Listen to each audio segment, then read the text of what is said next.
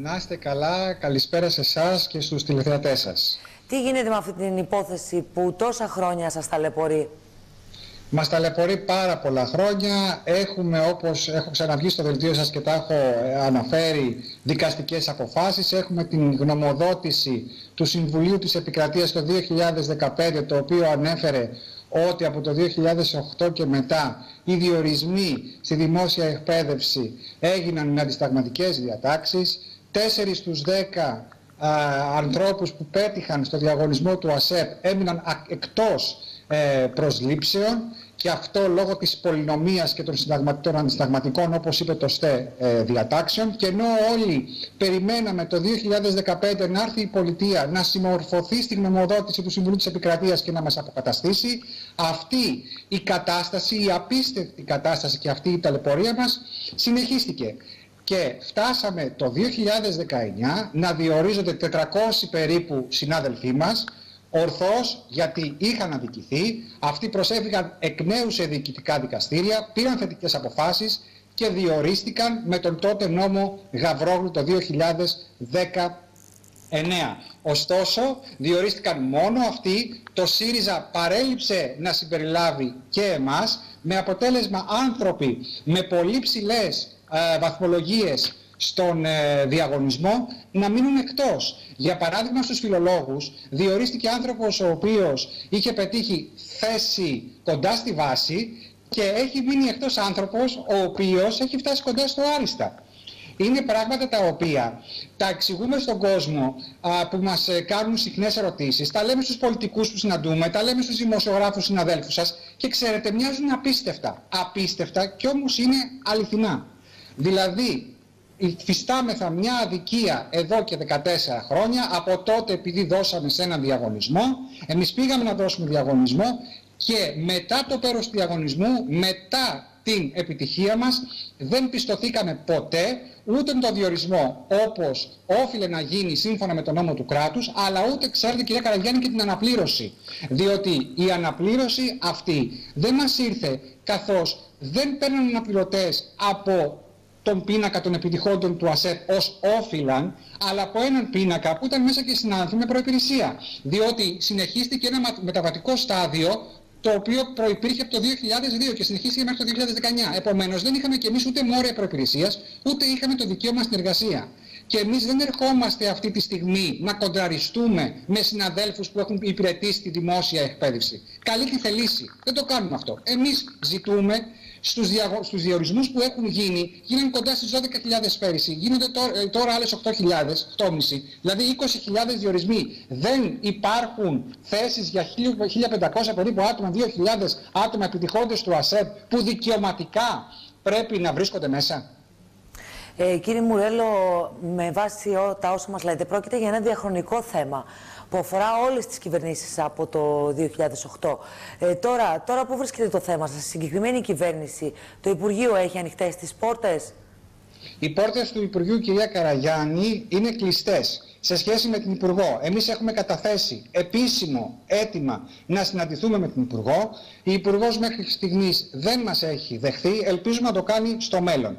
Ωστόσο, σε ορισμένες συνεντεύξεις που παραχωρεί σε σχέση με το θέμα μας, την, ε, την παρακολουθώ και πραγματικά α, μένω ενός, μένω άφωνος.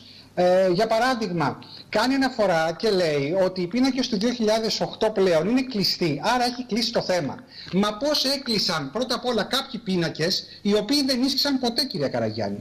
Α, μετά δηλαδή από το 2008 μόλις δώσαμε γραπτό διαγωνισμό και καταρτίστηκε ο πίνακας επιτυχόντων ΑΣΕΠ, δεν ε, υπήρξε η, αποκατάσταση όλων όσων έπρεπε να διοριστούν. Αλλά υπήρχαν αντισταγματικές διατάξεις. Επίσης ήταν ένας πίνακας ο οποίος συνεχώς τροφοδοτούνταν και δεν και, και κανένας επιτυχών ΑΣΕΠ δεν μπορούσε να πιστώσει την επιτυχία του.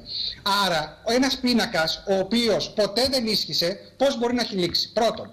Δεύτερον, με τόση πολυνομία, με τόσους πολλούς νόμους, με τόσες ε, ε, ε, διατάξεις που όπως προείπα το Συμβούλιο της Επικρατείας αναφέρει ως αντισυνταγματικές, πώς μπορούσε λοιπόν να ισχύσει αυτός ο πίνακας; Αυτός ο πίνακας δεν ίσχυσε ποτέ. Και τέλος, το 2019 οι συνάδελφοί μας που διορίστηκαν και μάλιστα το 2021 το Συμβούλιο της Επικρατείας χαρακτήρισε ε, αυτούς τους, αναφέρει μάλλον τους διορισμούς αυτούς ρητός ως νομίμως και ορθώς ε, πρατωμένους, ε, το 2019 λοιπόν οι διορισμοί αυτοί έγιναν με βάση αυτόν τον πίνακα στον οποίο αναφέρεται η κυρία Κεραμέως. Άρα πώς είναι δυνατόν ένας πίνακας από τον οποίο έγιναν διορισμοί το 2019 να έχει, να έχει λήξει; Και μάλιστα οι διορισμοί έγιναν κυρία Καραγιάννη με βάση το βαθμό επιτυχίας των συναδέλφων.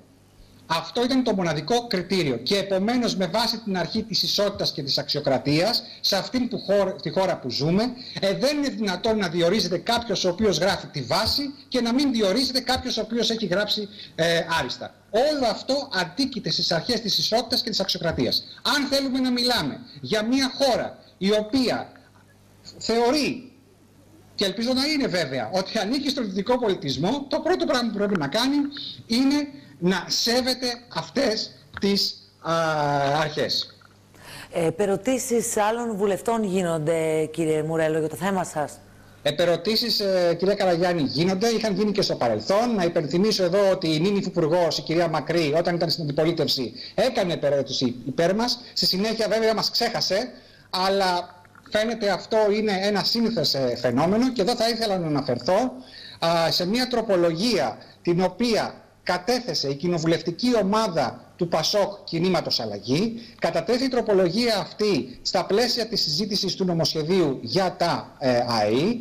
Η τροπολογία κάνει λόγο για αποκατάσταση των επιτυχών των εκπαιδευτικών του ΑΣΕΠ 2008. Το ΠΑΣΟΚ, το οποίο είναι ένα κόμμα που θέσπισε ουσιαστικά την ανεξάρτητη ε, αρχή ε, του ΑΣΕΠ αντιλαμβάνεται την αδικία που έχουν υποστεί οι επιτυχώντες του ΑΣΕΠ, καταθέτει λοιπόν αυτή την τροπολογία και εμείς καλούμε την Υπουργό να δεχθεί και το κόμμα της Νέας Δημοκρατίας, το οποίο αναφέρει ότι είναι υπέρ της αριστείας και υπέρ των αξιολογήσεων. Καλούμαστε λοιπόν να αποδεχθεί την τροπολογία αυτή η οποία αφορά ανθρώπους που έχουν υποστεί πολυετή αδικία, που έχουν αξιολογηθεί, που έχουν αριστεύσει και καλούμε και όλα τα κόμματα να συμβάλλουν στο να περάσει αυτή η τροπολογία. Και εδώ θα ήθελα κυρία Καραγιάννη να σας επισημάνω ότι την τροπολογία αυτή την επιμιλήθηκε ο κύριος Χάρης Καστανίδης. Ο κύριος Χάρης Καστανίδης είναι ένας εκ των κορυφαίων συνταγματολόγων της χώρας και ο οποίος δεν θα έμπαινε ποτέ στη διαδικασία εάν αυτό το θέμα έμπαζε έστω και λίγο από κάπου να κατεβάσει ε, ο ίδιος τροπολογία. Πρώην Υπουργός Δικαιοσύνης. Φαίνεται κυρία Καραγιάννη ότι όλοι όσοι έχουν περάσει από το φόκο του Υπουργείου Δικαιοσύνης μιλάνε υπέρ ε, των ασεπιτών, των επιτυχών του 2008. Να υπενθυμίσω εδώ και τον κύριο Κοντονή, ο οποίος από το βήμα της Βουλής όταν ψηφίστηκε το νομοσχέδιο Γαβρόγλου και αποκαταστάθηκαν 400 συναδελφοί μας, κάλεσε και εγκάλεσε τους συναδέλφους ε, σε σχέση με τη δική μας αποκατάσταση. Ε, οπότε εσείς τώρα περιμένετε για την πορεία την τύχη αυτής της τροπολογίας και ταυτόχρονα έχετε απευθυνθεί και στο συνήγορο του πολίτη; Βεβαίως, ο συνήγορος του, του, πολίτη έχει αποφανθεί και αυτό θετικά. Μάλιστα, η γνωμοδότηση του συνήγορου του, του, πολίτη έχει αποσταλεί στο Υπουργείο. Το Υπουργείο ακόμα δεν μας έχει απαντήσει ε, επίσημα, αλλά ε, χρονοτριβή. Και θα συνεχίσουμε, κυρία Καραγιάννη, να κάνουμε ό,τι μπορούμε από κάθε μετερίζη, από όλη την Ελλάδα. Μάλιστα, στο νομό σας υπάρχουν αρκετοί συνάδελφοι επιτυχώντε του ΑΣΕΠ 2008. Συνεχίζουμε τις επαφές, συνεχίζουμε τις παραστάσεις έξω από το Υπουργείο, δεν θα, δεν θα σταματήσουμε και θα κοινοποιούμε το θέμα όσο το δυνατόν μπορούμε. Όλο ένα και περισσότερος κόσμος που αντιλαμβάνεται και κατανοεί την αδικία που έχουμε υποστεί είναι μαζί μας. Μέχρι, μέχρι στιγμής, από ό,τι φαίνεται, η κυρία Κεραμέως δεν δίνεται να το αντιληφθεί. Ελπίζω να τη δούμε από κοντά και να μας εξηγήσει. Μάλιστα, έχετε κάποια προγραμματισμένη παράσταση άμεσα το επόμενο χρονικό διάστημα; Κυρία Καραγιάννη, κάθε εβδομάδα θα είμαστε μία μέρα της εβδομάδας όσοι μπορούμε, γιατί όπως αντιλαμβάνεστε υπάρχουν και εκπαιδευτικοί οι οποίοι είναι εκτός Αθηνών και όμως πολλές φορές έρχονται στην Αθήνα και οι ίδιοι. Α, κάθε εβδομάδα λοιπόν, μια φορά τη εβδομάδα έχουμε αποφασίσει να βρισκόμαστε έξω από το Υπουργείο και ζητάμε επιμόνως να δούμε την κυρία Κεραμέως. Θεωρώ όπως αντιλαμβάνομαι θεωρεί και ο κάθε Έλληνας πολίτης, ότι ένας υπουργός ο οποίος πράττει έργο. Τι έργο, υπηρετώντας τον ίδιο τον πολίτη, έχει χρέος να βλέπει τους πολίτες οι οποίοι μάλιστα προέρχονται από μια κοινωνική ομάδα που φωνάζει ότι έχει αδικηθεί. Οι βαρονισμοί, κυρία Καραγιάννη, στη δημοκρατία δεν έχουν θέση. Μάλιστα, κύριε Μουρέλο, σας ευχαριστούμε πάρα πολύ για τη σύνδεση και εύχομαι την επόμενη φορά, στην επόμενη σύνδεση, να έχετε και την επίλυση του θέματός σας. Κυρία Καραγιάννη, σας ευχαριστώ πάρα πολύ. Το ίδιο ευελπιστώ ε, και εγώ. Ξέρετε, το δίκαιο ε, κάποια στιγμή θα επικρατήσει. Είναι και νόμιμα το θέμα μας και ε, ηθικό. Καλώς σας Ευχαριστούμε πολύ. Καλή συνέχεια.